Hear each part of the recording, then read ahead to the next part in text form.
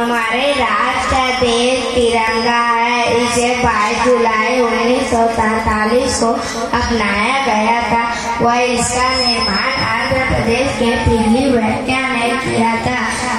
हमारे झंडे में तीन रंग होते हैं। नारंगी, सफ़ेद व हरा। शौर्य और बलिदान का प्रतीक होता है। ये रंग हमारे देश के वीर जवानों